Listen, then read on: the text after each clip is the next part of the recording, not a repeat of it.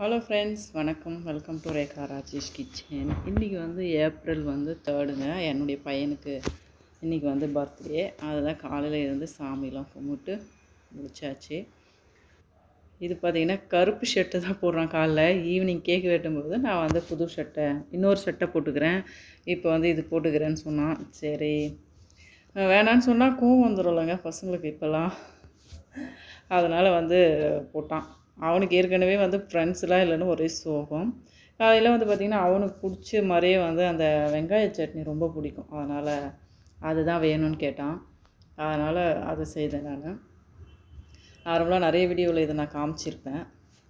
நல்லா டேஸ்ட்டாக இருக்கும். தோசைக்கு எத்தனை தோசை பண்ணாலும் சாப்பிட்லாம். அவ்வளோ சூப்பராக இருக்கும். இதை சாப்பிட்டம்போது அப்புறம் ல டிஃபன்லாம் முடிச்சுட்டு லன்ச் வந்து பார்த்திங்கன்னா வெளியே வாங்கிடலாம் அப்படின்னு நினச்சி பண்ணால் வேணான்னு சொல்லிட்டான் நீயே செய்யன்னு சொல்லிட்டான். அதனால் அதுக்கப்புறம் பன்னெண்டு மணிக்கு மேலே சிக்கன்லாம் எடுத்துகிட்டு வந்து அதுக்கப்புறமா வந்து செய்ய ஆரம்பித்தான் சரி கொஞ்சம் சிக்கன் சிக்ஸ்டி ஃபைவ் மாதிரி போடலாம் அப்படின்றதுனால கொஞ்சம் அதுலேருந்து வாங்கின சிக்கன்லேயே கொஞ்சம் எடுத்துகிட்டு அதில் வந்து கார்ன்ஃப்ளவர் மாவு அதுக்கப்புறமா மிளகாய்த்தூள் அப்புறம் கரம் மசாலா அதுக்கப்புறம் சால்ட் இஞ்சி பூண்டு பேஸ்ட்டு போட்டு நல்லா மிக்ஸ் பண்ணி வச்சிடலாம் அப்படின்னு. சிக்ஸ்டி ஃபைவ் அதெல்லாம் நான் அவ்வளோவா நான் சேர்த்துக்க மாட்டேன்.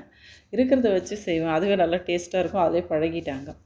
இப்போ வந்து பார்த்திங்கன்னா பிரியாணிக்கு வந்து சரி கொஞ்சம் மிக்ஸ் பண்ணி வைக்கலான்ட்டு தயிர் வந்து ஒரு மூணு டேபிள் ஸ்பூனு அதுக்கப்புறம் மிளகாத்தூள் வந்து ஒரு ஒன்றரை ஸ்பூனு இஞ்சி பூண்டு பேஸ்ட் வந்து ஒரு அரை ஸ்பூனு கொஞ்சமாக சால்ட்டு இதை போட்டு நல்லா மிக்ஸ் பண்ணி சிக்கனை வந்து ஒரு ஆஃப் அன் ஹவர் வச்சிட்டோம்னா நம்ம செய்யும்போது சாப்பிடும்போதெல்லாம் நல்லா உள்ள காரெல்லாம் வரைக்கும் நல்லா டேஸ்ட்டாக இருக்கும். அதனால தான் அந்த மாதிரி போட்டு மிக்ஸ் பண்ணிடுறது. இது வந்து என்னுடைய ஃப்ரெண்டு வந்து சொன்னாங்க.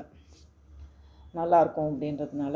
நம்ம எண்ணெய் ஊற்றிட்டு நார்மலாக போடுற ஏலக்காய் பட்டை லவங்கம் பிரிஞ்சி இலை இதெல்லாம் மட்டும் தான் போடுவேன் நான். எல்லாம் போட்டுட்டு வெங்காயம் போட்டுட்டு டேஸ்ட்டுக்காக ஒரு மூணு பச்சை மிளகா போகிறதுக்கே எனக்கு பயமாக இருக்குது அது. போகிறதுக்கு பயமாக இருந்தாலும் டேஸ்ட்டுக்காக பச்சை மிளகா போட வேண்டியதாக இருக்குது. போட்டு இப்போ நல்லா வந்து அந்த எண்ணெயில் வதக்கிக்கலாம். இது வந்து மஷ்ரூம் வந்து கிரேவி பண்ணிக்கலாம் அப்படின்றதுனால அதை வாங்கின்னு வர சொன்னேன். அதை வாங்கின்னு வந்தாங்க. அப்புறம் இஞ்சி பூண்டு பேஸ்ட்டு இஞ்சி பூண்டு பேஸ்ட்டு தான் பிரியாணிக்கு வந்து டேஸ்ட்டே கொடுக்கும். அதனால் இஞ்சி பூண்டு பேஸ்ட் வந்து எப்போவுமே கொஞ்சம் நிறையவே சேர்த்துக்கலாம். அதே மாதிரி இஞ்சி பூண்டு பேஸ்ட் அரைக்கும் போது பூண்டு வந்து கம்மியாகவும் இஞ்சி அதிகமாகவும் சேர்த்து அரைச்சோம்னா நல்லாயிருக்கும் டேஸ்ட்டு அது ஒரு டிப்ஸ் மாதிரி கூட ஏன்னா எனக்கு பிரியாணி நாங்கள் வருஷத்துக்கு ஒரு முறை வந்து கடா வெட்டுவோம் இல்லையா கோவிலில். அப்போ வந்து சொன்னாங்க பூண்டு கம்மியாகவும் இஞ்சி பூண்டு பேஸ்ட் அதிகமாக போட்டால் பிரியாணி வந்து நல்லா டேஸ்ட்டாக இருக்குன்ட்டு. எங்களுக்கு எப்போவுமே வருஷம் வருஷம் செய்கிற அவர் பாய் தான் செய்வார் அவர் சொன்னார். இப்போ பார்த்திங்கன்னா தக்காளியும் போட்டாச்சு உப்பு போட்டாச்சு நல்லா வதக்கிட்ட அப்புறமா வந்து நம்ம புதினா போட்டுக்கலாம். புதினா போட்டு நல்லா ரெண்டு டைம் நல்லா கலந்து விட்டுட்டு இப்போது சிக்கன் மிக்ஸ் பண்ணி வச்சேன் இல்லையா அதை நல்லா போட்டுக்கலாம். சிக்கன் வந்து நல்லா அந்த சாஃப்டாக வரும் இல்லையா? அது வரைக்கும் நம்ம கொஞ்சம் நேரம் ஒரு அஞ்சு நிமிஷம் ஆறு நிமிஷம் நல்லா வந்து அந்த எண்ணெயிலேயே வந்து மிக்ஸ் பண்ணிக்கலாம். பார்த்திங்கன்னா நல்லா மிக்ஸ் பண்ணியாச்சு. இப்போ வந்து தண்ணி ஊற்றிக்கலாம் நான் வந்து மூணு டம்ளர் அரிசி அதுக்கு நம்ம நாலரை டம்ளர் தண்ணி ஊற்றணும் இல்லையா? அதை ஊற்றியாச்சு கொஞ்சமாக கொத்தமல்லி ஒரு கைப்பிடி அளவு போட்டுக்கலாம். அதுக்கப்புறமா எலுமிச்சம்பழம் ஒரு ஆஃப் எலுமிச்சம்பழம் வந்து அந்த ஜூஸ் விட்டால் போதும். போட்டு நம்ம வந்து இப்போ உப்புலாம் கரெக்டாக இருக்குதான்னு நம்ம செக் பண்ணிவிட்டு தட்டு போட்டு மூடி வச்சிடணும். நல்லா கொதிக்கிட்டோம் அந்த தண்ணி. அதுக்குள்ளே வந்து நான் சிக்கன் வந்து மிக்ஸ் பண்ணி வச்சேன் இல்லையா அதையும் வந்து இந்த பக்கம் வந்து வச்சுருக்கேன் சூடு பண்ணியிருக்கேன். அரிசி நம்ம வந்து நல்லா அதில் வந்து தண்ணி ஒரு ட்ராப்பு கூட இல்லாமல் வந்து நல்லா வந்து வடிகட்டிக்கணும் அரிசியை. ஏன்னா நம்ம தண்ணி கரெக்டாக ஊற்றுறோம் எக்ஸ்ட்ரா ஆயிடுச்சுன்னா அந்த பளபளன்னு வராது. அரிசி போட்டாச்சு நல்லா வந்து கொதிக்கணும் அது. அதுக்கப்புறம் தான் நம்ம டம்ப் பண்ணணும். அப்போ நல்லாயிருக்கும். இது எல்லாமே என் ஃப்ரெண்டு சொல்லி கொடுத்தது தான் அவங்க சூப்பராக சமைப்பாங்க. இப்போ வந்து சிக்கனை எடுத்து போட்டுக்கலாம். நல்லா சூப்பராக இருந்ததுங்க எல்லாமே. நல்லா இருந்தது. இப்போ எல்லாத்தையும் வந்து நம்ம திருப்பி விட்டுக்கலாம் சிக்கன்லாம் அதே மாதிரியே வந்து பிரியாணி வந்து நல்லா கொதிக்க ஆரம்பிச்சிருச்சு.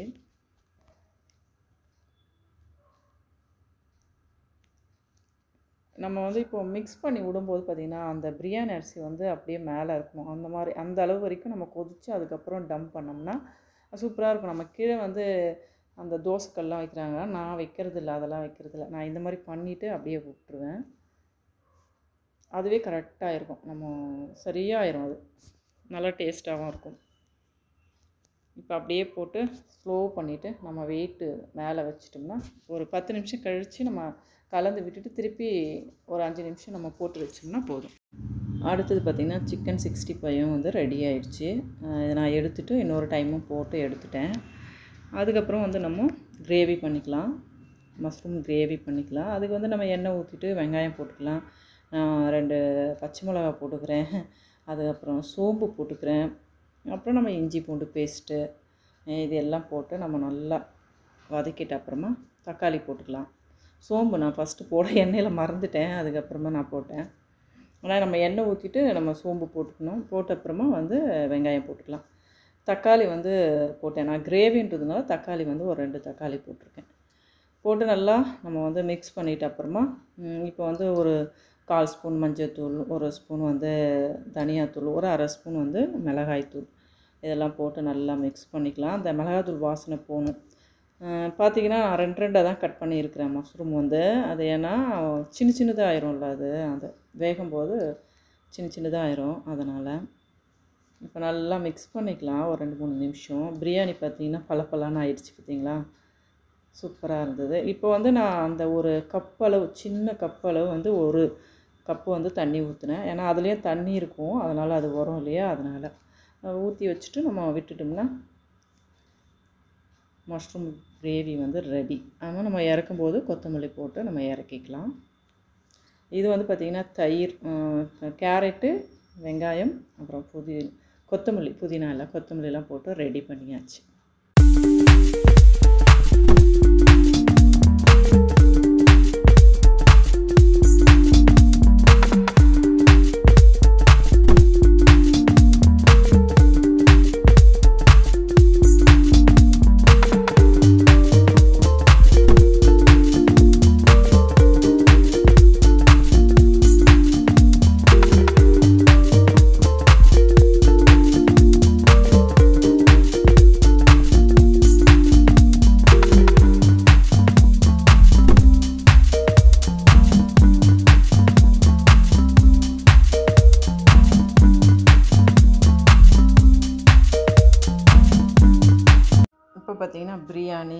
Mushroom gravy chicken sixty five தயிர் பச்சடி இதெல்லாம் வச்சு லன்ச் வந்து நாங்கள் முடிச்சுட்டு அப்புறம் ஈவினிங்க இது.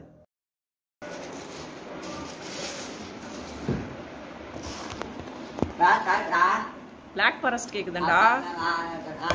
வேறலாம் இல்லை பிளாக் ஃபாரஸ்ட் கேக்கு.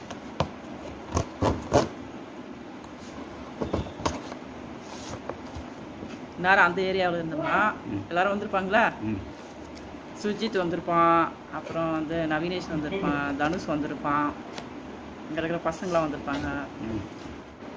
இருக்கா ஃப்ரெண்டா? தெரியலையா.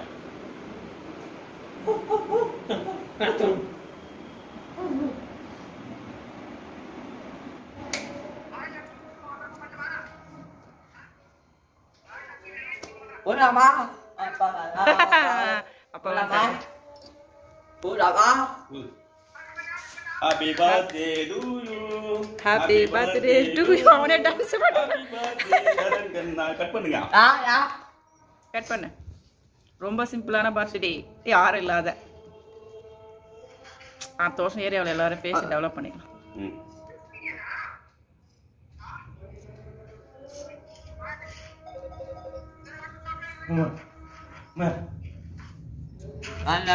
என்னது?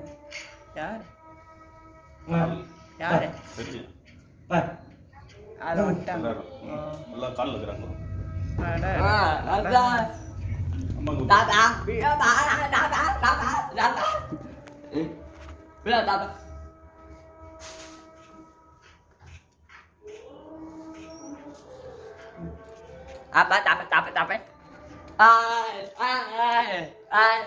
ஏ கட் பண்ணி குடுறா. அது குடுறா. ஏ பொண்ணுங்களா இருக்கிறாங்கப்பா.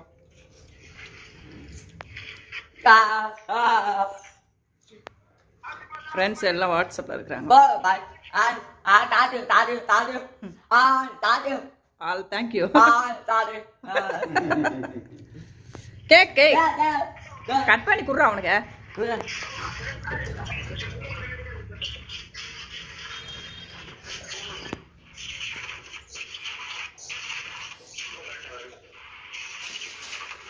வாங்கு. ஓவரா பண்ணாத.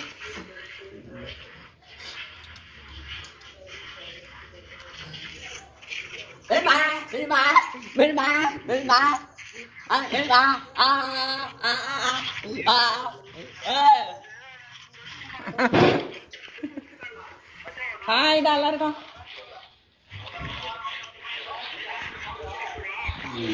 என்னடா எல்லாம் வாட்ஸ்அப்லயேவா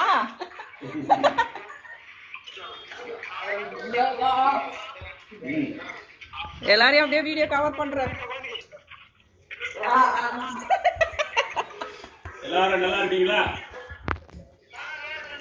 நல்லா இருக்கீங்களா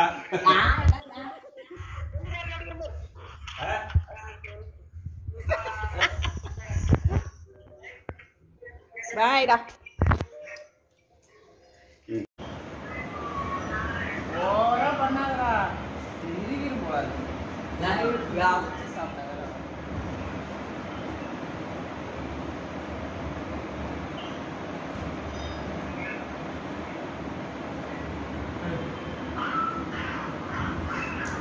இருடா சார் ஃப்ரிட்ஜில் வச்சு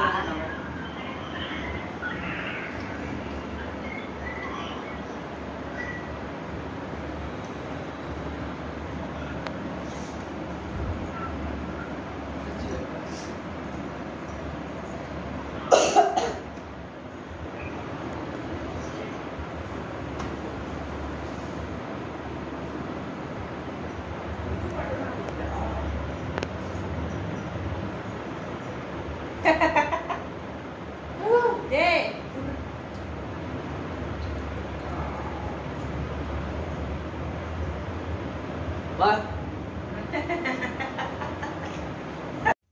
வீடியோ பிடிச்சிருந்தா லைக் பண்ணிக்கங்க ஷேர் பண்ணிங்க சப்ஸ்கிரைப் பண்ணிங்க. பக்கத்தில் இருக்கிற பெல் ஐக்கனை கிளிக் பண்ணிங்க அப்போ தான் நான் ரெகுலராக போடுற வீடியோ நோட்டிஃபிகேஷன் வரும். அவள் பிஸியாக இருப்பா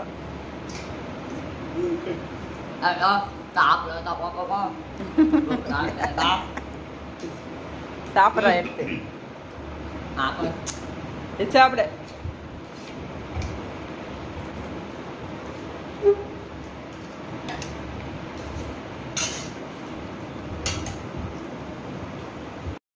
என் சின்ன பையனுடைய ஃப்ரெண்ட்ஸ் யாரும் வரல. இது புதுசாக இருக்கிறதுனால ஏரியா நாங்கள் இன்னும் ஃப்ரெண்ட்ஸ் யாரும் வந்து வரல. இ- இவங்க எல்லாருமே வந்து என்னுடைய பெரிய பையன் இருக்கான் இல்லையா காலேஜ் படிக்கிறான் இல்லையா அங்கே படிக்கிற எல்லா ஸ்டூடெண்ட்டும் இது வந்து எம்ஏ படிக்கிறாங்க. அது அப்புறம் பிகாம் வந்து தேர்ட் இயர் செகண்ட் இயர் அந்த மாதிரி படிக்கிற ஸ்டூடெண்ட்டு தான் வந்தாங்க. இந்த வீடியோ இதோடு முடிஞ்சது. இது வந்து அன்றைக்கி எடுத்த பிக்சர் தேங்க்ஸ் நன்றி. வணக்கம். நெக்ஸ்ட் வீடியோவில் பார்க்கலாம். அது வரைக்கும் பாய்